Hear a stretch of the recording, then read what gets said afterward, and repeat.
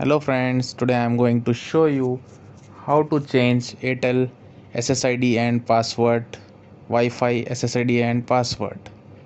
First open your browser and type ip address 192.168.1.1 and then type here router login username and password.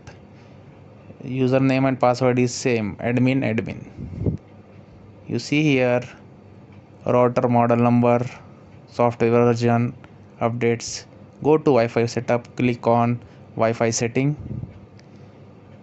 Okay. You see here eight double eight. This is default Airtel SSID you need to change what you want SSID name okay? This is password. Wi-Fi password.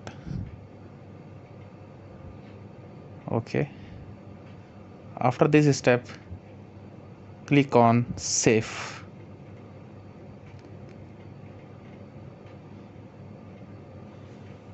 Wi-Fi name SSID password is change complete